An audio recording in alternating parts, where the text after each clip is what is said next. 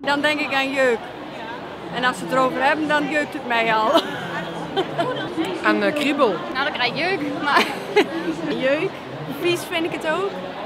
En uh, veel uh, ja, rotzooi. Ja.